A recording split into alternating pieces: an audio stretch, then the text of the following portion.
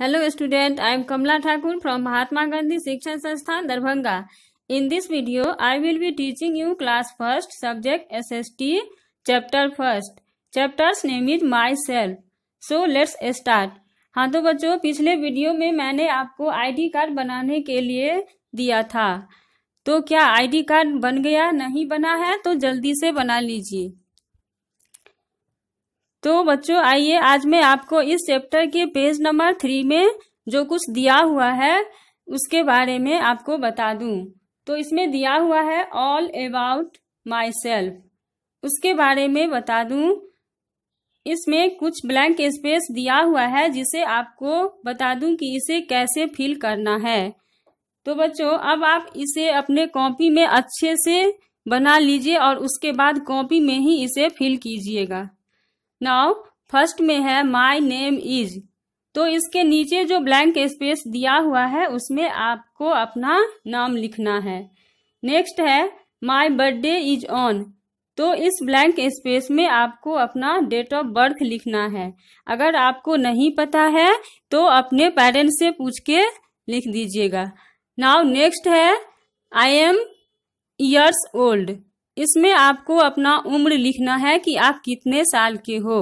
अगर आप छह साल के हो या सात साल के हो या जितने भी साल के हो, आप इस बॉक्स में लिख दीजिएगा। नाउ नेक्स्ट है आई स्टडी इन क्लास आप किस क्लास में पढ़ते हो, वह आपको इस ब्लैंक स्पेस में लिखना है। नेक्स्ट है आई लिव इन आप किस गाँव में या शहर में रहते हो, उसका नाम इस ब्लैंक स्पेस में लिखना है। नेक्स्ट है माई फेवरेट मीन्स आपका फेवरेट तो इन सब चीज़ों में से जो आपको पसंद है फेवरेट है, उसका नाम उसके सामने के ब्लैंक स्पेस में लिखना है। तो फ़र्स्ट में है बुक आपको कौन सा बुक पढ़ना पसंद है, उस बुक का नाम इसमें लिखिए।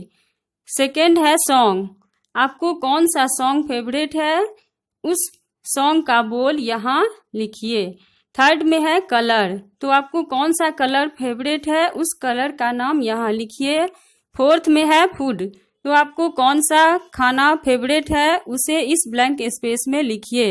एंड लास्ट है स्पोर्ट तो आपको कौन सा स्पोर्ट फेवरेट है? आपको इसमें लिखना है.